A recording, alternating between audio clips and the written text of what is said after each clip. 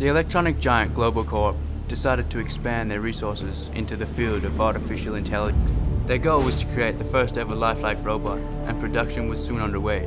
To rally public support for the project, Global decided to hire two of the world's most decorated soldiers, Cidus, a lieutenant in the Australian Defence Force and world-class swordsman, and Kadaj, a Russian soldier and ex-Navy SEAL, and he too a world-class swordsman.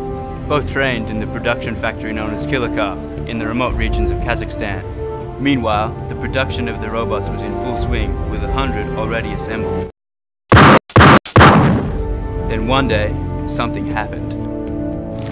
Kilika was ablaze. Upon inspecting the blaze, Cidus sees Kadaj emerging from the flames, a symbolism Cidus soon learns that Kadaj plans to rebuild the Soviet Union into the powerhouse it once was with his newly acquired AI information and technology.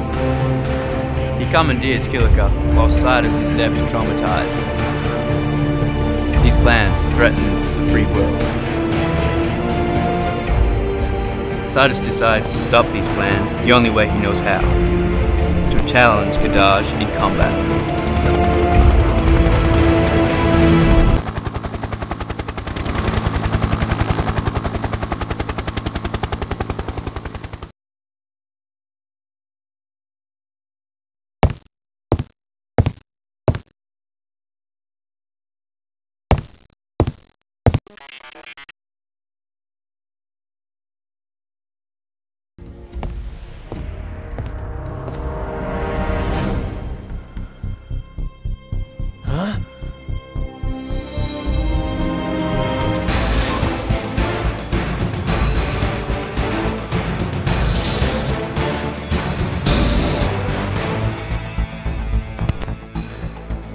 Know why I'm here.